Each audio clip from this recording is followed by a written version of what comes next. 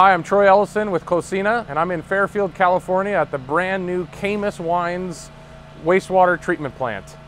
Behind me, you'll see a 50,000 gallon per day membrane bioreactor.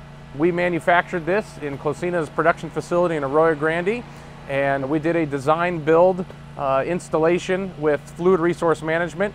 Summit Engineering was the engineering firm uh, that did the overall civil site work we also worked with Wright Contracting, who's the general contractors out of Santa Rosa. We're very excited about this particular project uh, because we supplied everything from stem to stern on this wastewater plant. We supplied the lift station, the EQ handling system, the primary treatment, the membrane bioreactor train, as well as a Cloacina dry pack sludge handling system. 100% of this treated effluent will be used for irrigation purposes.